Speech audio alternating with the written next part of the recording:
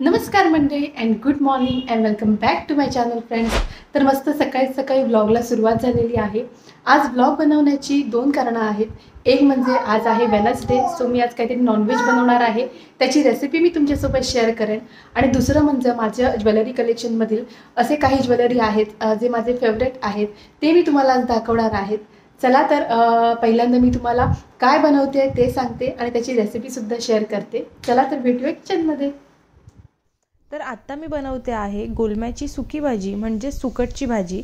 तर ह्याला काही ठिकाणी गोलमा किंवा काही ठिकाणी सुकट असं म्हटलं जातं. तर ह्याची भाजी मी कशी बनवते आहे त्याचीच पटापट रेसिपी मी तुम्हाला सांगते.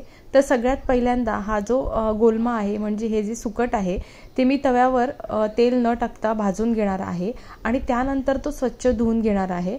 तर हे बघा सुकट आहे ते व्यवस्थित भाजून झालेली आहे. आता मी पाण्यामध्ये ही सगळं सुकट टाकून स्वच्छ धुवून घेणार आहे. तर मी दोन वेळा धुवून घेईन एका पातेल्यामधून दुसऱ्या स्वच्छ पाण्यात टाकून त्यामधून गाळून मी अशा पद्धतीने हे सुकट आहे ती दोन वेळा स्वच्छ धुवून घेतलेली आहे. आता ह्याची जी फोडणी आहे ती काय काय आहे ती मी तुम्हाला दाखवते. एकदम सोप्या पद्धतीने आणि खूप टेस्टी सुद्धा लागते ही भाजी. तुम्ही नक्की ट्राय करून बघू शकता. सो ह्याच्यामध्ये मी अंदाजे तेल घेतलेलं आहे आणि ह्याला मी आता देणार आहे लसूणची फोडणी. तर अगदी कमी साहित्यामध्ये आणि टेस्टी अशी सुकटची भाजी रेडी होते. तर हे बघा थोडासा हिंगसुद्धा मी इथे यूज करते आहे. हिंग घातल्याने थोडाला थोडंसं पोटाला चांगला असतो आणि त्याचा सुगंधसुद्धा छान येतो. तर थोडासा लालसर लसूण झाला की मग ह्याच्यामध्ये मी ॲड करते आता कांदा. तर इथे मी दोन मोठे कांदे घेतलेले आहेत. तर कांदा थोडासा जास्त लागतो ह्या भाजीला कारण कांद्यानेच या भाजीला छान टेस्ट येते. तर हे बघा थोडंसं मीठ टाकून मी कांदा आहे तो लालसर भाजून घेणार आहे. एकदम करपवायचा नाही आहे पण थोडासा शिजवून घ्यायचा आहे. तर झाकण ठेवून मी थोडासा कांदा मऊसर भाजून घेतला आहे. आता मी ह्याच्यामध्ये मसाले टाकणार आहेत तर सुक्या मसाल्यांमध्ये फक्त लाल मिरची पावडर आणि हळद एवढंच जातं. आता हा मसाला छान कांद्यामध्ये मिक्स करून मग जी स्वच्छ धुवून घेतलेली सुकट आहे ती मी याच्यामध्ये ॲड करते. आणि दोन मिनटं कांद्यामध्ये ही पूर्ण सुकट मिक्स करून दोन मिनटं परतवून घ्यायची सो त्यानंतर व्यवस्थित मिक्स करून झाल्यानंतर मी याच्यामध्ये ॲड करणार आहेत कोकम. सो ह्याच्यामध्ये मी तीन ते चार कोकम ॲड केलं आहे. आणि थोडंसं सुकट आहे ते शिजण्यासाठी छान ओलसर होण्यासाठी पाण्याचा हपका ठेवून मी दोन ते तीन मिनटं व्यवस्थित शिजवून घेतली आहे. आणि अशा पद्धतीने मस्त गरमागरम वरती कोथिंबीर टाकून गोलम्याची म्हणजे सुकटची भाजी रेडी झालेली आहे.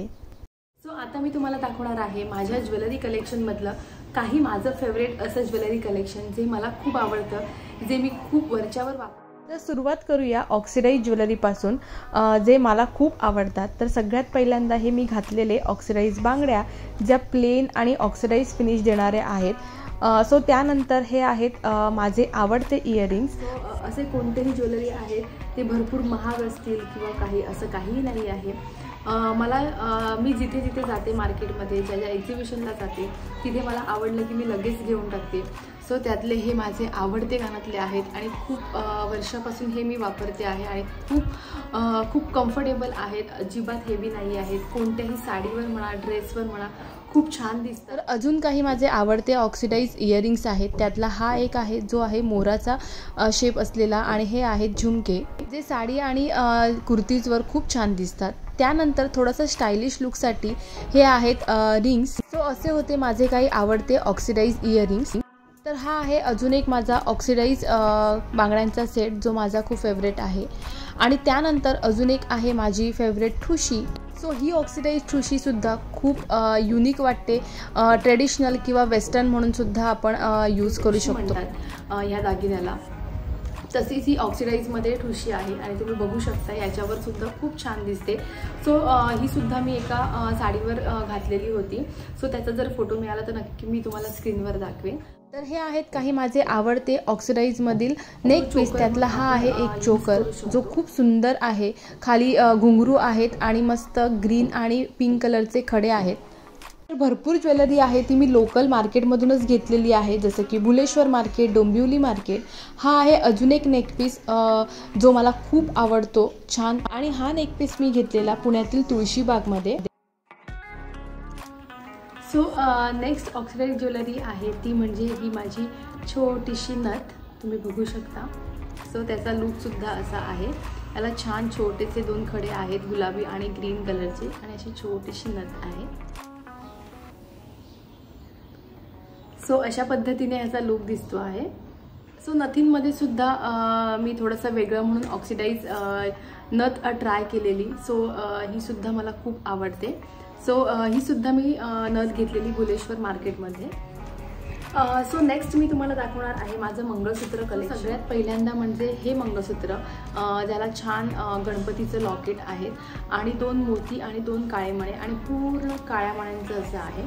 सो थोडंसं वेगळं असं स्टायलिश लुक हवं असेल थोडंसं वेस्टर्न ब्लाऊज वगैरे घातला थोडंसं वेगळं लुक हवं असेल तर अशा पद्धतीचं मी हे मंगळसूत्र ते सुद्धा प्लेनच आहे आणि त्याचं जे पेंडंट आहे तुम्ही बघू शकता. खूप सुंदर पेंडंट आहे आणि थोडंसं ऑक्सिडाईजकडे जातं आणि थोडंसं पेंडंट आहे ते वेगळं आहे मला खूप आवडलं आणि हे सुद्धा काळ्या मण्यांचं प्लेन दोन पदरीचं मंगळसूत्र आहे. हे तिसरं मंगळसूत्र.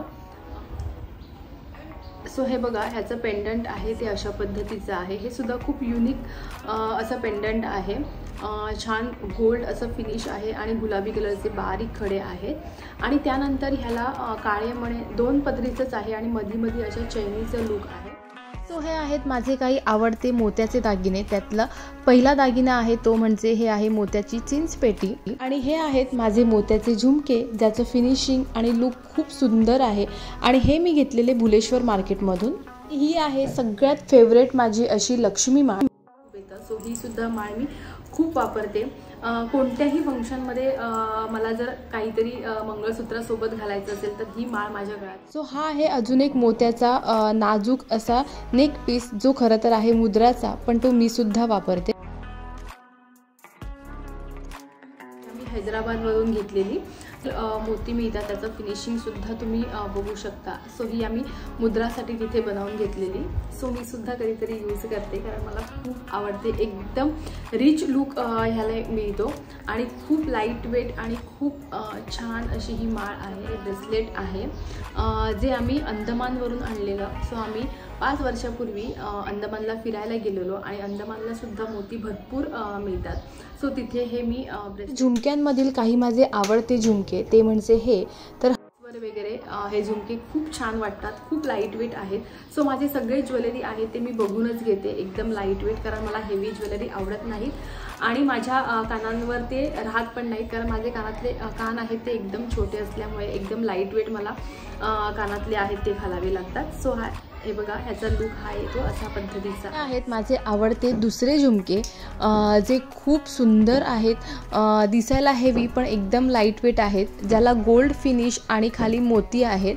आणि हे मी एका साडीवर मॅचिंग म्हणून घेतलेले म्हणून मी हा ब्ल्यू कलर घेतला आहे याला हे कडासुद्धा मी खूप यूज करते.